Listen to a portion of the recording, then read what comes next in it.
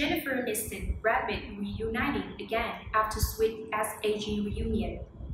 Brad Pitt and Jennifer Aniston will be reuniting again this time virtually for the first time at Ridgemont High Table Rep. Brad Pitt and Jennifer Aniston have divorced over a decade ago. However, the fans are still eager to see them together. The exes will be joining forces on Friday for a virtual table rep. Brad Pitt and Jennifer Aniston reuniting.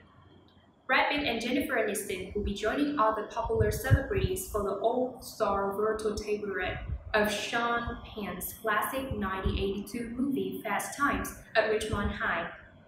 Pitt and Aniston will be joined by Shia LaBeouf, Matthew McConaughey, Julia Roberts, Jimmy Kimmel, Dane Cook, Morgan Freeman, and Henry Golding.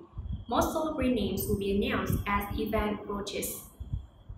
The live, the live virtual event will take place on Friday and will be live streamed on Facebook Live and TikTok.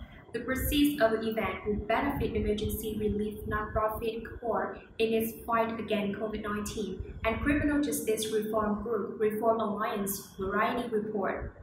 What Penn and others say about the event Sean Penn would not be playing his iconic stoner character Jeff Spicoli. His character will be announced on the night of the event. However, he tested that he was confident with the actor playing his original character. On behalf of our dedicated team at the core, I'm so appreciative of the support Dane has given and continues to give to our work, Penn said in a statement for Variety. I'm always game for a giggle. So, to gather remotely for a night of laughs with so many talented folks who are providing core with much needed resources to continue our vital work, they consider us fully on board to play.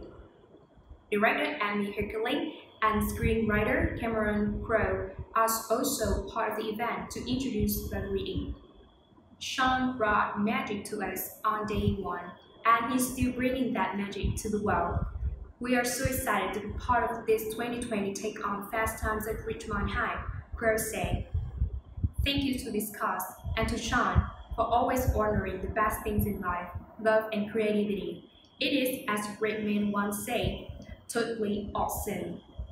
Meanwhile, Heckerling was honored for the talented and wonderful people who agreed to get together to celebrate the movie.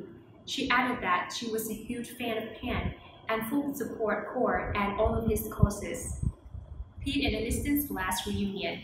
Before the virtual table rep, Brad Pitt and Jennifer Aniston had a sweet reunion at the SAG Awards.